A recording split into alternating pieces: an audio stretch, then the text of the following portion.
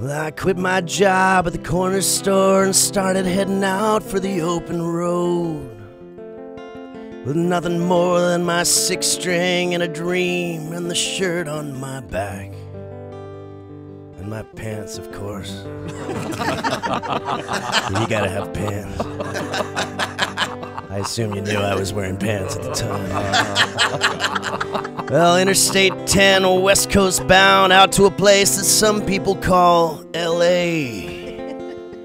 Where the sun is always shining and all the girls are naked and all the dudes are gay.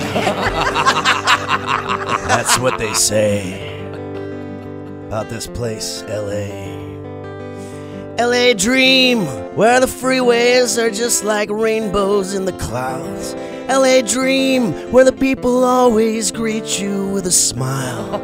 LA Dream, where the mayor gives you money, so it's been said.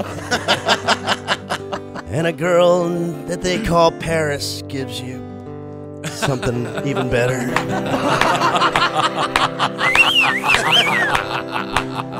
well, I was paying my dues, tending bar, and a man came up and said, Hey kid, you could be a movie star. And I looked at him and said, Thanks. Yeah, I did some acting in high school, and I actually was in a sixth grade play where I played a tree. and he said, That's good enough for me.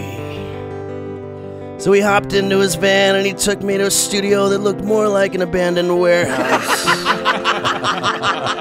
And he made me put on leather chaps and a gladiator helmet, and I said, Oh, I get it. this is a period piece. LA Dream, where the brown air covers the city like a warm blanket. LA Dream, where the cops carry nightsticks that are made of cotton candy. LA Dream, where people only tell the truth, so it's been said. And I'm still waiting for that girl Paris to give me, you know, what she gives.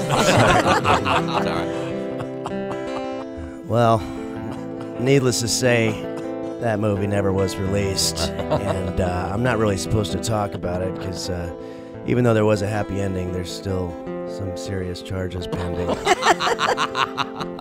and I think it's time for me to make my way back home. Well, when I was leaving, I heard a man say, You know, you can take your hat off any place you like, but you can't eat Chinese food in front of a Spaniard. I think I read that part wrong. Well, I don't know about you, but I think that I'm inclined to disagree. Because a couple minutes later, that same man was eating food out of a trash can and was later arrested for exposing himself to tourists. But either way, I still don't think that what he was saying was supposed to apply to me. LA Dream, well, the mayor never gave me any money. LA Dream, and the freeways weren't like rainbows.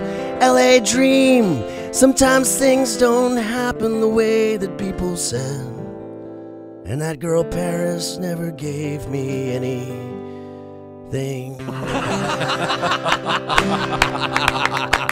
True story about LA.